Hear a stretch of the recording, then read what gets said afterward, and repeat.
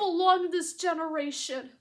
I wish, I wish, I wish, I wish I could be in my parents' generation where I could be more outdoors without technology and work traditionally. Because this technology is really affecting me. It really, really, really is affecting me.